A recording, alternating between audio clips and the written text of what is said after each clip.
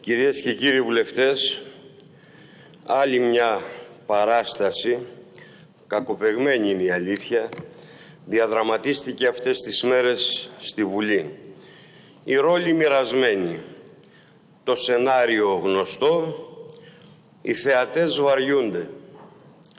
Σε αυτή την παράσταση λείπουν τα πραγματικά λαϊκά βάσανα, τα προβλήματα της νεολαίας, των γυναικών, των εργαζομένων. Λείπει η μεγάλη εικόνα, η καθημερινότητα. Τώρα που έρχεται το καλοκαίρι, τόσες και τόσες οικογένειες μετρούν και ξαναμετρούν τι τους βγαίνει και τι δεν τους βγαίνει. Αν θα στείλουν το παιδί να σπουδάσει, αν με το καλό περάσει στο πανεπιστήμιο, σε κάποια σχολή, αν θα πάνε κάπου λίγες μέρες διακοπές ή αν δεν θα πάνε. Γιατί τα εισιτήρια για τα νησιά μας είναι ακριβά, πάρα πολύ ακριβά και για τα στεριανά εδώ υπάρχουν και πολύ ακριβά διόδια και πάει λέγοντας. Και πού να βρεις και κότερο για τα νησιά.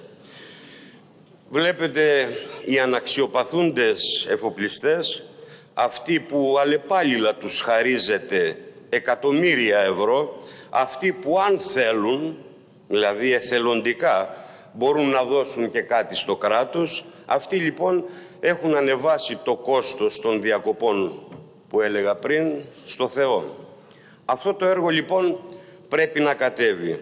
Να κατέβει μια ώρα αρχίτερα και στη θέση των σημερινών άθλιων πρωταγωνιστών να ανέβει ο λαός μας και το σενάριο να είναι οι ανάγκες του. Σε αυτή την υπόθεση το κόμμα μας θα δώσει όλες του τις δυνάμεις.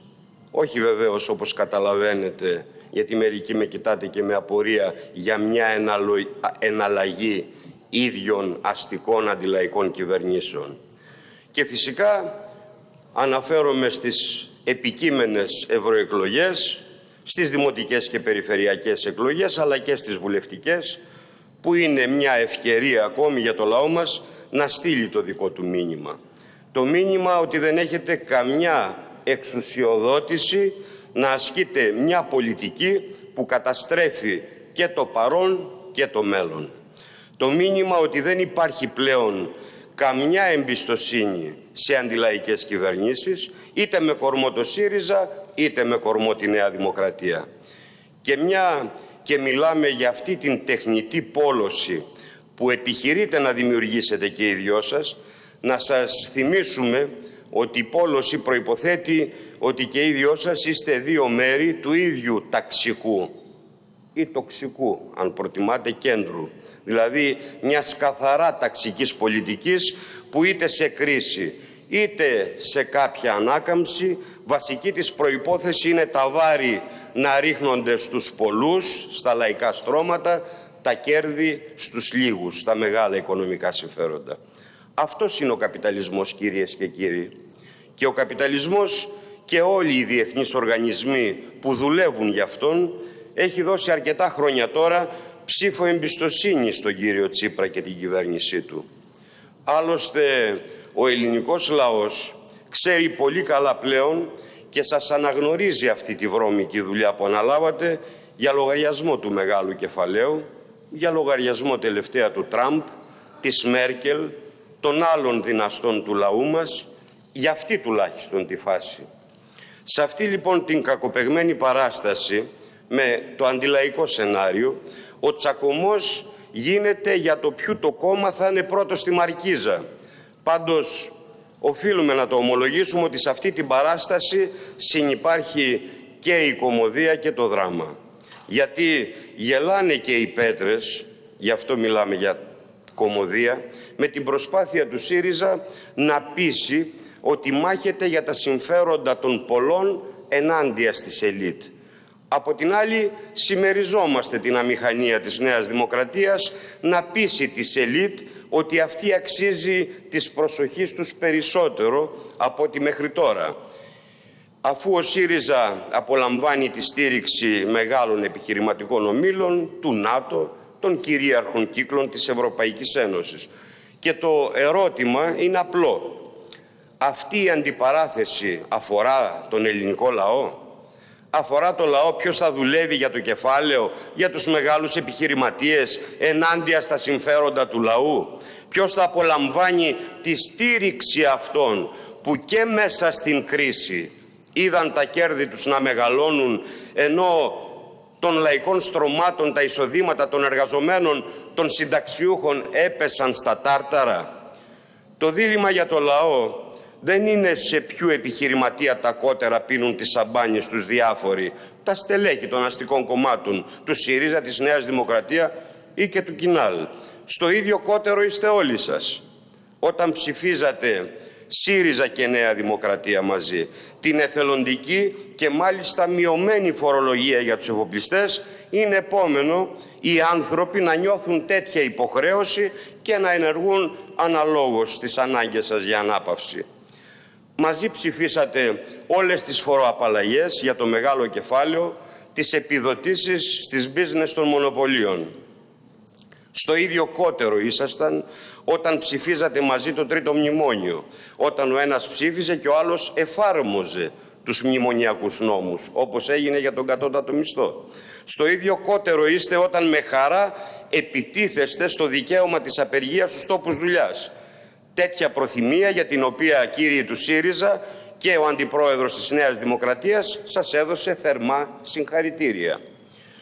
Είστε λοιπόν η σκαφάτη του κεφαλαίου και γι' αυτό δεν μπορεί να κρύψετε ότι συμπλέεται στα βασικά, στα κύρια, στα επικίνδυνα σενάρια που φτιάχνετε για το μέλλον του λαού μας, των παιδιών του. Δυστυχώς για σας ένα σημαντικό κομμάτι του κόσμου σας έχει πάρει χαμπάρι. Κομπάρσος στην παράστασή σας δεν θέλει να παραμείνει. Πρωταγωνιστής στη ζωή του θέλει να γίνει. Θα κάνει την πραγματική διαφορά με το ΚΚΕ ακόμα πιο δυνατό. Μπορεί να δοθεί αυτή η αποφασιστική, η μόνη ελπιδοφόρα και αγωνιστική απάντηση σε αυτή τη σαπίλα που αποπνέουν όλοι οι διαχειριστές του διεφθαρμένου συστήματός σας. Κυρίες και κύριοι, αυτή η σαπίλα που αποπνέει το σύστημά σας δεν είναι μόνο βρωμερή, είναι και επικίνδυνη για το λαό. Οι τελευταίες εξελίξεις με την παραβίαση της Κυπριακής ΣΑΟΖ από το τουρκικό γεωτρύπανο, με τις απειλές της τουρκικής κυβέρνησης για την Κύπρο και το Αιγαίο, με την όξυνση της εγκληματικής επιθετικότητας του Ισραήλ ενάντια στην Παλαιστίνη, τους βομβαρδισμούς τους στη Γάζα, αποδεικνύουν πόσο επικίνδυνη είναι η κατάσταση στην Ανατολική Μεσόγειο. Η κυβέρνηση του ΣΥΡΙΖΑ συνεχίζει να ρίχνει στάχτη στα μάτια του λαού μας, πανηγυρίζοντας για διάφορες δηλώσεις αξιωματούχων της Ευρωπαϊκής Ένωσης που γίνονται φτερός στον άνεμο πριν ακόμη προλάβει να στεγνώσει το μελάνι με τις οποίες έχουν τυπωθεί. Άλλωστε, την ίδια στιγμή η Ευρωπαϊκή Ένωση αντιμετωπίζει την Τουρκία ως στρατηγικό εταίρο της για λογαριασμό των μονοπωλίων φυσικά των ευρωπαϊκών. Ο Γενικός Γραμματέας του ΝΑΤΟ επίσης επισκέπτεται την Τουρκία για να δυναμώσουν οι σχέσεις της με το ΝΑΤΟ και οι Ηνωμένες Πολιτείες διατείνονται πως με κάθε τρόπο θα κρατήσουν την Τουρκία στη συμμαχία.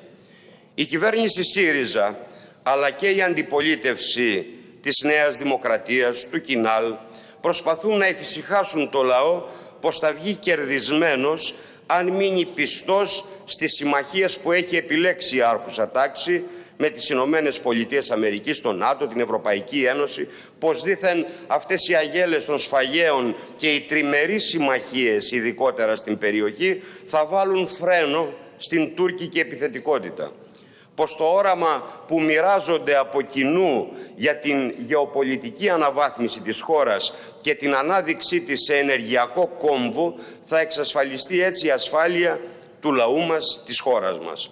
Οι πανηγυρισμοί των αστικών κομμάτων γύρω από την εκμετάλλευση των υδρογονανθράκων κρύβουν από τους λαούς τη μεγάλη εικόνα της έντασης, της όξυνσης των ανταγωνισμών και των αστικών τάξεων για τα ενεργειακά αποθέματα και ανάμεσα στα διάφορα ενεργειακά μεγαθύρια, ανταγωνισμοί που συγκρούονται και βεβαίως όλοι αυτοί με επεμβάσεις, με πολέμους, με μήλο της έρηδας πάντα την ενέργεια. Δεν χρειάζεται να πάμε πολύ πίσω στο χρόνο. Ας δούμε το παράδειγμα της Ουκρανίας, για παράδειγμα, που ήταν και είναι ενεργειακός κόμβος. Εκεί η εμπλοκή των ΗΠΑ, ΝΑΤΟ, Ευρωπαϊκής Ένωσης, επιθυτείας μάλιστα του σημερινού Αμερικάνου πρέσβη στην Ελλάδα, αυτού του φίλου σας που μπαινοβγαίνει στα Υπουργεία πιο συχνά από ό,τι φαίνεται από την μπαινόβγαινο Πετσίτης ή άλλοι και τον επισκέπτεστε κι εσείς στα φανερά και στα κρυφά κάθε τόσο, σήμανε ένα πραξικόπημα εκεί, μια κυβέρνηση εγκαθίδρυσε με ακροδεξιούς, φασίστες, με εκατοντάδες νεκρούς και το φυτίλι για μια πιο γενικευμένη σύγκρουση που, το οποίο φυτίλι ακόμα σιγοκαίει εκεί. Στη Συρία, που ήταν και είναι και αυτή ενεργειακός κόμβος, η υπεριαλιστική επέμβαση Αμερικάνων, ΝΑΤΟ, Ευρωπαϊκής Ένωσης, η σύγκρουση συμφερόντων με άλλα υπεριαλιστικά κέντρα δεν άφησαν πέτρα πάνω στην πέτρα με δεκάδες χιλιάδες θύματα, εκατομμύρια ξεριζωμένους ενώ παρήγαγε ακόμα περισσότερη καύση μήλη για όξυνση των αντιθέσεων στην περιοχή στη Λιβύη τα ίδια, στη Βενεζουέλα που ήταν και είναι από τους μεγαλύτερους πετρελοπαραγωγούς, η ενεργότερη εμπλοκή των Αμερικάνων και της Ευρωπαϊκής Ένωσης σηματοδοτεί μια ακόμα απόπειρα πραξικοπήματος σε συνδυασμό με ανοιχτές απειλές για στρατιωτική επέμβαση. Να λοιπόν, γιατί επιμένουμε τόσο πολύ να αναδεικνύουμε τους κινδύνους που κρύβει για το λαό μας η κοινή γραμμή όλων αυτών των κομμάτων για τη μετατροπή της χώρας σε ενεργειακό κόμβο και σε ένα απέραντο Αμερικανο-Νατοϊκό στρατόπεδο. Να γιατί επιμένουμε ότι η ΝΑΤΟ και η Ευρωπαϊκή Ένωση δεν μπορούν να εγγυηθούν ειρήνη, ασφάλεια των λαών, την εδαφική ακαιρεότητα της Ελλάδας και της Κύπρου. Και αυτό φαίνεται στο παράδειγμα ότι το 40% του εδάφους της Κύπρου παραμένει υποκατοχή από τη σύμμαχη στο ΝΑΤΟ Τουρκία που αμφισβητεί με όλο και μεγαλύτερη ένταση τα κυριαρχικά δικαιώματα της Κύπρου και της Ελλάδας προβάλλοντας ακόμα και εδαφικές διεκδικήσεις. Αυτό το ανατολίτικο παζάρι που γίνεται στην περιοχή μας γίνεται στις πλάτες των λαών της περιοχής. Γιατί ακόμα και αν υπάρξουν κερδισμένοι από την εμπλοκή της χώρας στα υπεριαλιστικά σχέδια, αυτοί δεν θα είναι σε καμιά περίπτωση οι λαοί της Ελλάδας, της Κύπρου, ο λαός της Τουρκίας, αλλά θα είναι μόνο οι μονοπωλιακοί όμιλοι. Οι λαοί θα είναι πάντα μεταξύ των χαμένων. Η κυβέρνηση ΣΥΡΙΖΑ λοιπόν είναι έκθετη γιατί διαρκώς εφησυχάζει το λαό. Εμπλέκει βαθύτερα τη χώρα στους ημεριαλιστικούς ανταγωνισμούς για ξένα προς το λαό συμφέροντα και παρουσιάζει την επέσχυντη συμφωνία μάλιστα των Πρεσπών που μαγειρεύτηκε για τις νατοικές ανάγκες και ως συνταγή για το Αιγαίο και την Κύπρο. Όμως η λύση και η διέξοδος για το λαό μας, για τους άλλους λαούς της περιοχής επίσης, βρίσκεται σε σύγκρουση με αυτές τις αστικές τάξεις, με την Ευρωπαϊκή Ένωση, με το ΝΑΤΟ, με τις κυβερνήσεις τους και πάντως σίγουρα δεν βρίσκεται ούτε σε δεξιώσεις ούτε σε χαμογελάκια με το διαβολικά καλό Τραμπ όπως τον χαρακτηρίσατε ούτε στους φιχταγκαλισμούς που συνηθίζεται με τους σφαγείς των Παλαιστινίων που μάλιστα τώρα ετοιμάζονται να υποδεχτούν με ορχιστρικούς βομβαρδισμούς τη Eurovision.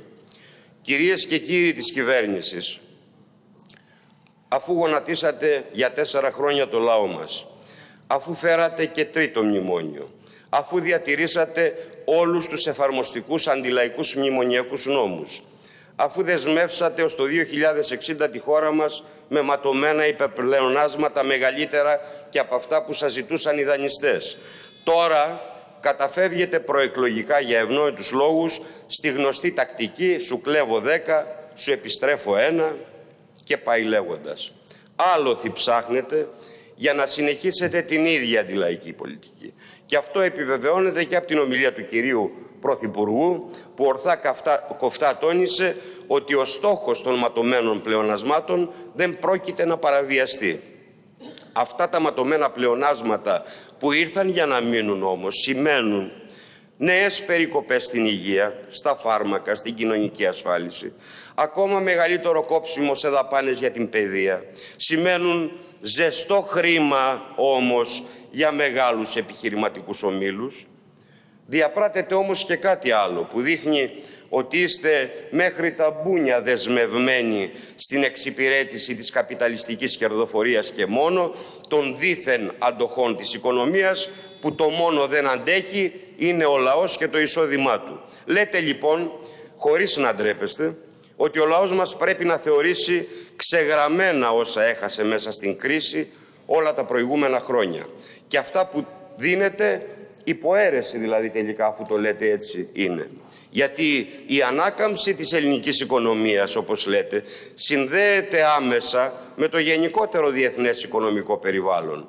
Την ώρα που εσείς υπόσχεστε αυξημένους ρυθμούς ανάπτυξης, οδεύουμε διεθνώς προς μια νέα καπιταλιστική κρίση, που μια οικονομία τόσο ανοιχτή όσο η ελληνική, ατμομηχανή της οποίας είναι ο τουρισμός και οι διεθνείς μεταφορές, έχει την προοπτική μόνο να γονατίσει. Με τα σύννεφα νέας κρίσης που αχνοφαίνονται ήδη, με τους ανταγωνισμούς, τους οικονομικούς εμπορικούς πολέμους που οπωσδήποτε επιδρούν στην όποια ανάκαμψη στην Ελλάδα. Επιπλέον συνεχίζεται, είστε μάστορες αυτό, σας το αναγνωρίζουμε, να βαφτίζετε το κρέας ψάρι. Όπως η Τρόικα έγιναν θεσμοί, κουαρτέτο, δεν ξέρω τι παλιότερα, όπως τώρα το μόνιμο επίδομα που το βαφτίσατε 13η σύνταξη. Αλήθεια, αυτή ήταν η 13η σύνταξη που έπαιρναν οι συνταξιούχοι. Θέλετε να μιλήσουμε και με αριθμούς; Το κονδύλι που δίνεται για αυτό το επίδομα είναι 800 εκατομμύρια ευρώ συνολικά και αντιστοιχεί στο 39% του ποσού που καταβάλλεται κάθε μήνα από τον ΕΦΚΑ για τις κύριες συντάξεις. Οι συνταξιούχοι με τους αγώνες τους δεν απέτησαν ένα κουτσουρωμένο επίδομα που και αυτό θα δίνεται με μεγάλες διαφορές, χωρίζοντας, κατηγοριοποιώντας ανθρώπους που δούλεψαν μια ζωή ολάκερη και οι κόποι τους χάθηκαν, κλάπηκαν, ληστεύθηκαν από τις κυβερνήσεις μέχρι σήμερα πριν της Νέας Δημοκρατίας και του Πασόκ, σήμερα του, ΣΥΖΙ, του ΣΥΡΙΖΑ. Αλλά και σε αυτό το ζήτημα συνεχίζεται στη γνωστή και ξεδιάντροπη λογική των ρετυρέ, των ισογείων και των υπογείων. Και αυτό δανεισμένο από το Πασόκ, τόση κατηφόρα. Το παλιό βαθύ Πασόκ, το βρώμικο. Πάτε λοιπόν στους ανθρώπους που ζουν όχι μόνο αυτοί, αλλά και τα παιδιά τους και τα εγγόνια τους, πολλές φορές με μια σύνταξη του αστρονομικού ποσού των 900 ευρώ μεικτά ή και 1050 ευρώ μεικτά και πείτε τους ότι είναι και ευνοούμενοι από πάνω και γι' αυτό θα πάρουν μόνο 30%. Θα σας πάρουν με τις πέτρες και δίκιο θα έχουν. Έρχεται τώρα προεκλογικά η κυβέρνηση και επιδιώκει να μεταμφιεστεί σε σωτήρα των αυτοαπασχολουμένων. Όχι φυσικά γιατί την έπιασε ο πόνος, αλλά και για να περιορίσει τις αντιδράσεις που γέννησε η ίδια η πολιτική της σε συνέχεια των προηγούμενων κυβερνήσεων. Το αυτονόητο κούρεμα των χρεών στα ασφαλιστικά ταμεία στην ουσία δεν χαρίζεται στους επαγγελματίες, αλλά αντίθετα ανταλλάσσεται εκβιαστικά με τη δραστική μείωση των συντάξεών τους, στην οποία οδηγεί ο επανυπολογισμός των ασφαλιστικών τους εισφορών βάσει του νόμου Κατρούγκαλου. Και σαν να μην έφτανε αυτό, αποδεικνύεται ότι στην πραγματικότητα τα μέτρα αυτά έχουν εις πρακτικό χαρακτήρα, αφού στην ουσία η κυβέρνηση σπρώχνει αυτούς που η ίδια βούλιαξε στα χρέη, στον ΚΙΣΕ, με τις κατασχέσεις και τους πληστηριασμούς, ακόμα και για χρέη 500 ευρώ να περιμένουν στη γωνία. Την ίδια ώρα μάλιστα διατηρείται άθικτο όλο το αντιλαϊκό πλωστάσιο. Τη φορολόγηση από το πρώτο ευρώ, τον ένφια, το τέλος επιτιδεύματος, τα δημοτικά τέλη πάσης φύσης που επιβάλλονται στη λογική της ανταποδοτικότητας, τις ασφαλιστικές εισφορές στο 20% του εισοδήματος και άλλα. Περιμένετε αλήθεια να σας πούν και ευχαριστώ οι αυτοαπασχολούμενοι επαγγελματίες. Για άλλη μια φορά λοιπόν προκαλείται κύριε της κυβέρνησης του ΣΥΡΙΖΑ και προκαλείται ακόμα περισσότερο γιατί συνεχίζεται να αγνοείται επιδεικτικά τα στοιχειώδη άμεσα μέτρα ανακούφισης που διεκδικούν οι φορείς των αυτοαπασχολουμένων.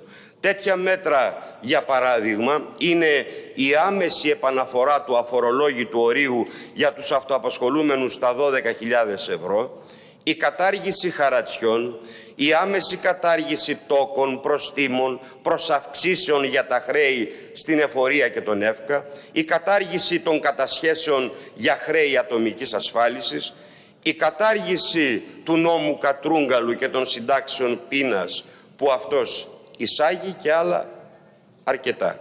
Είναι σίγουρο ότι χωρίς την υλοποίηση αυτών των βασικών μέτρων οι όποιες ρυθμίσεις σύντομα θα αποδειχτούν πάλι δώρο-άδωρο, όπως και οι άλλες δίθεν σωτήριες λύσεις που έφερναν κατά καιρούς και οι προκάτοχοί σας. Παρότι το ΚΚΕ έχει φέρει τις διεκδικήσεις αυτές των αυτοαπασχολουμένων στη Βουλή, εσείς τις απορρίψατε. Όχι βέβαια ότι μας κάνει και καμιά εντύπωση πλέον. Βλέπετε, οι αυτοαπασχολούμενοι δεν είναι σαν τους φίλους σας, τους μεγάλους ομίλους, τους εφοπλιστές που σπέβδετε να τους κάνετε και όλα τα χατήρια προτού καν σας το ζητήσουν. Μην προκαλείτε λοιπόν όταν λέτε ότι η οικονομία είναι το ατού σας, εκτός βέβαια αν εννοείται την οικονομία των λίγων. Και προφανώς αυτό εννοείται. Γιατί κατά τα άλλα το κρατικό χρέος που φορτώνεται στις λαϊκές πλάτες και τη μείωση του οποίου είχε κάνει σημαία της η κυβέρνηση ΣΥΡΙΖΑ έχει σταθερά ανωδική πορεία από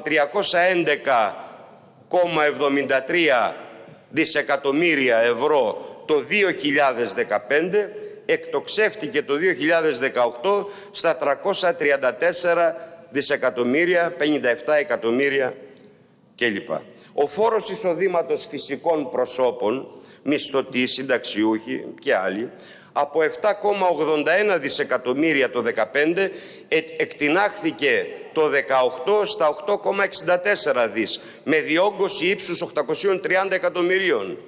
Οι έμεση φόροι, ΦΠΑ και άλλα χαράτσια στη λαϊκή κατανάλωση αυξήθηκαν από 23,77 δισεκατομμύρια το 2015 σε 27,97 δισεκατομμύρια το 2018, δηλαδή κατά 4,2 δις. Το σύνολο των δαπανών της γενικής κυβέρνησης συμπαραλαμβάνονται εδώ και βεβαίως ασφαλιστικά ταμεία, οι οργανισμοί τοπικής αυτοδιοίκησης και άλλοι, για το 18 συρρυκνώθηκε στο 86, κάτι δισεκατομμύρια ευρώ από 94, κάτι το 2015. Η δημοσιονομική προσαρμογή από την πλευρά της διάλυσης των κρατικών κονδυλίων έφτασε στο αστρονομικό ύψος των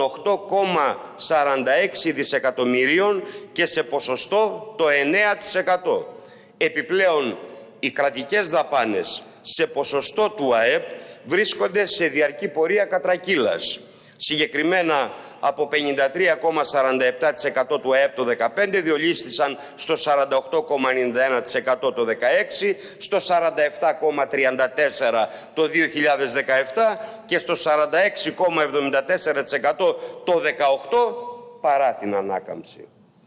Μεταξύ των δεκάδων τέτοιων επίσης και άλλων παρεμβάσεών σας ξεχωρίζουν οι μειώσεις της συντάξης με βάση τον νόμο Κατρούγκαλου.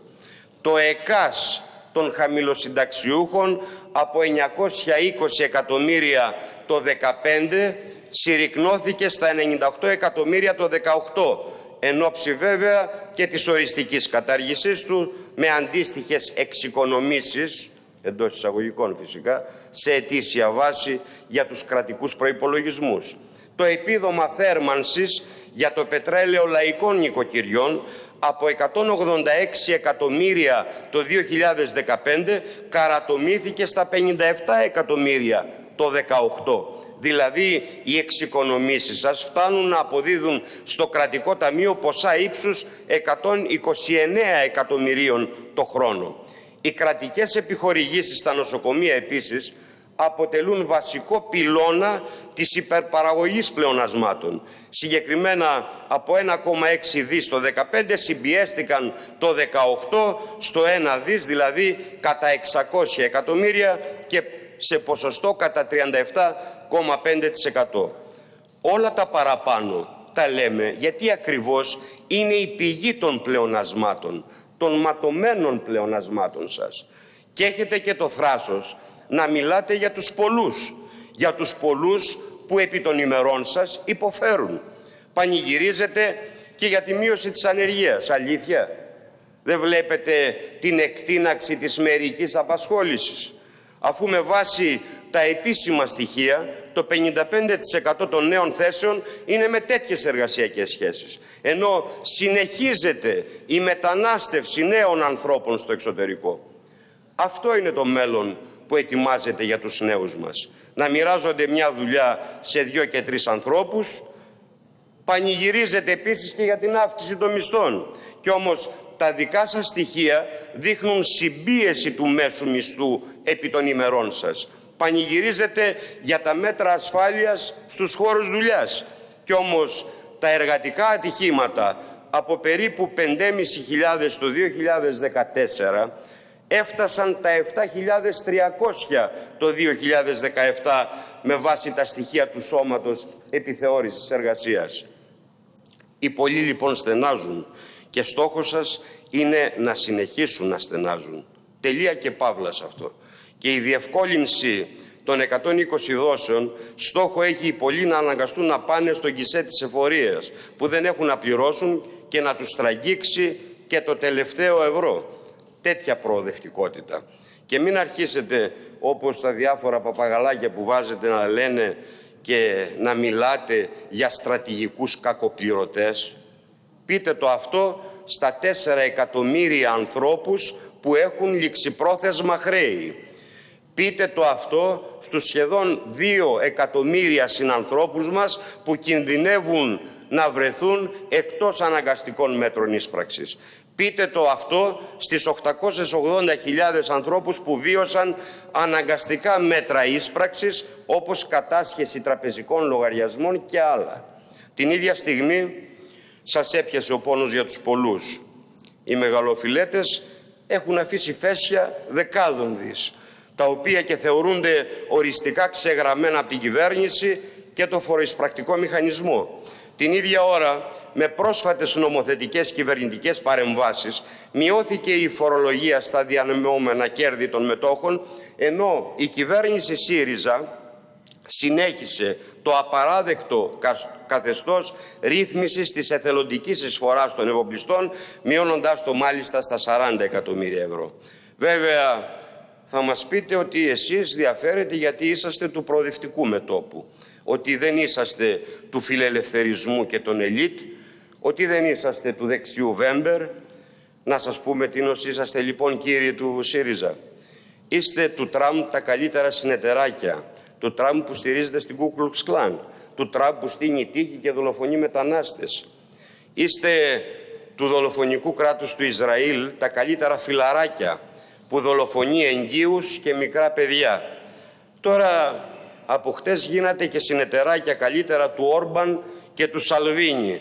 Επειδή δήθεν είστε ρεαλιστές και δεν περιμένετε τον παράδεισο. Και τα παλεύετε όλα μέσα στην Ευρωπαϊκή Ένωση. Ενώ εμείς δεν τα παλεύουμε στην Ευρώπη, τα παλεύουμε αλλού.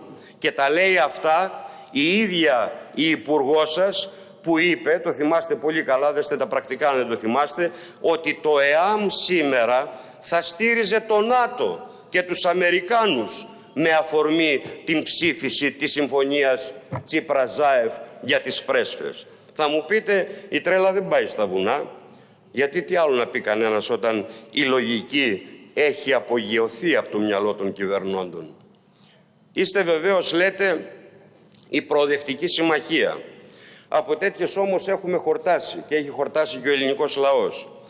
Το δίθεν προοδευτικό μέτωπό σας περιλαμβάνει πρόσωπα που τα προηγούμενα χρόνια διακρίθηκαν ως κορυφαίοι υπουργοί και παράγοντες και κυβερνήσεων της Νέας Δημοκρατίας του ΠΑΣΟΚ και με πλούσιο αντιλαϊκό έργο. Απαρτίζεται επίσης από γνωστούς αντικομουνιστές, δημοσιογράφους, μέχρι συντάκτες των τρομονόμων, ενώ και κάποιοι άλλοι ήταν στελέχοι του δικού σας κόμματος, του συνασπισμού πριν του ΣΥΡΙΖΑ μετά, που αφού περιπλανήθηκαν από Πασόκ, στο ποτάμι, στη Δημάρ και αλλού, τώρα που να τα θυμάται και κανένας, όλα δεν τα θυμάμαι αυτή την ώρα, κατέληξαν πάλι στο ΣΥΡΙΖΑ του αμοραλισμού, του τυχοδιοκτισμού, της μνημονιακής πολιτικής. Τόσο προοδευτικοί είστε που και με ευθύνη σας καθυστερεί και η δίκη της ναζιστικής εγκληματικής Χρυσής Αυγής. Κυκλοφορούν ελεύθεροι δολοφόνοι του Παύλου Φίσα, άλλων συνανθρώπων μας.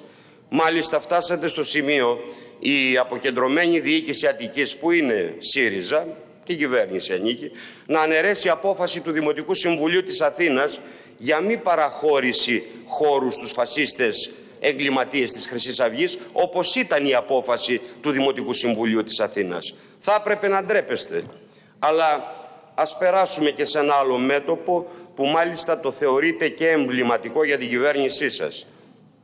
Ο Υπουργός Παιδείας μπορεί να μην είναι αδιάβαστος, όπως διαμαρτυρήθηκε τις προάλλες, πρωτού ξεσκο... Ε, ξεστομίσει εκείνο το λασπολογικό οχετό του για να πάρει την απάντηση που του έπρεπε από το ΚΚΕ και ιδιαίτερα από τον κοινοβουλευτικό μας εκπρόσωπο. Όμως, όπως αποδείχτηκε, η κυβέρνηση στον προηγούμενο γύρο θετικών εντός εισαγωγικών μέτρων έστειλε αδιάβαστους χιλιάδες αναπληρωτές εκπαιδευτικούς που τους πετά εκτός σχολείου στο όνομα μάλιστα των προσλήψεων που εξήγηλε. Είναι αποκαλυπτική για το τι κρύβεται πίσω από το δίθεν κοινωνικό προσωπείο που πασχίζει να φορέσει αυτή η κυβέρνηση η πραγματικά κατάπτυστη ρύθμιση που πέρασε στο πολυνομοσχέδιο Σκούπα για την εκπαίδευση, που πέρασε μεγαλοβδομαδιάτικα για να είναι κλειστά τα σχολεία και οι σχολές.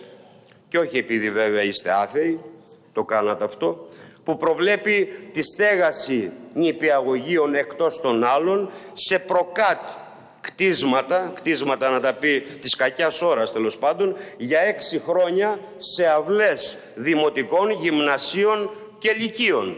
Αλήθεια κύριε της κυβέρνησης που δεν έχετε σταματήσει να διαστρεβλώνετε την πραγματικότητα για την προσχολική αγωγή ειδικότερα και αντί να απαντάτε σε τεκμηριωμένα επιχειρήματα του ΚΚΕ επιλέγετε να αερολογείτε συνεχώς επί του θέματος για την προσχολική αγωγή. Αλήθεια έτσι τη σκέφτεστε την προσχολική αγωγή; Με τα νήπια να στηβάζονται σε ακατάλληλα πρόχειρα κτίσματα χωρίς κατάλληλους άβλιους χώρους μαζί με παιδιά 5, 10 και 13 χρόνια μεγαλύτερά τους; Έχετε κάνει πολλά στο χώρο της εκπαίδευσης, αυτό σας το αναγνωρίζουμε.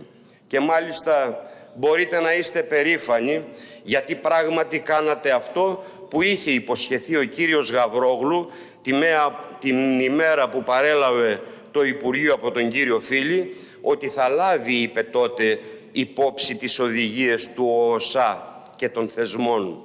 Και αυτές τις οδηγίες τις υπηρετήσατε κατά γράμμα, όπως αποδεικνύεται άλλωστε από τα πεπραγμένα σας, που ακριβένουν το αγαθό της μόρφωσης και φτωχαίνουν, διαστρεβλώνουν το περιεχόμενό της.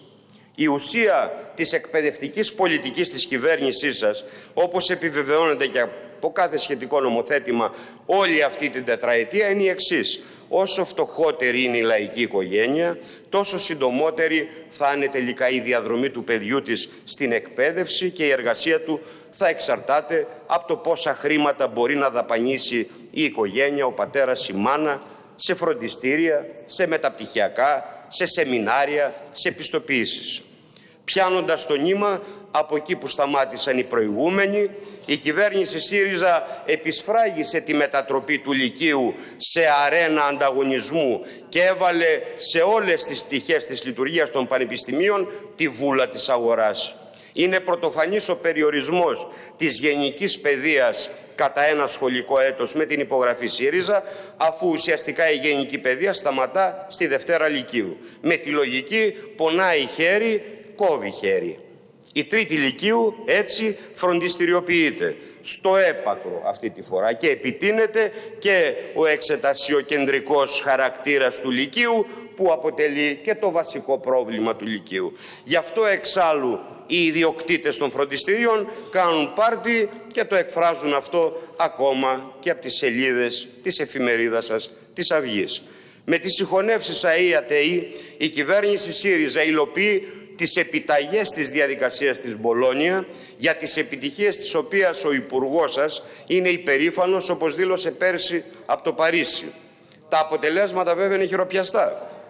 Έχετε προσπαθήσει να λύσετε μέχρι κεραίας το ζήτημα της σύνδεσης των Ιδρυμάτων με την κερδοφορία του κεφαλαίου, δεσμεύοντας το άρμα των συμφερόντων του τις σπουδές και τις προοπτικές των φοιτητών.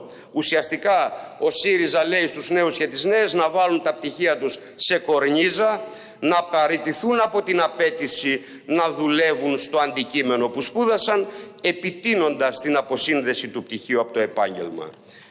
Κυρίες και κύριοι, τρεις μέρες στη Βουλή ακούσαμε πολλά και για τον αναπληρωτή Υπουργός Υγείας του κυρίου Τσίπρα και την πραγματικά απαράδεκτη επίθεση στον υποψήφιο της Νέας Δημοκρατίας άτομο με ειδικές ανάγκες, αλλά δεν ακούσαμε τίποτα για την πολιτική τους που έχει οδηγήσει τα άτομα με ειδικές ανάγκες στην απομόνωση, την ανεργία, τη φτώχεια.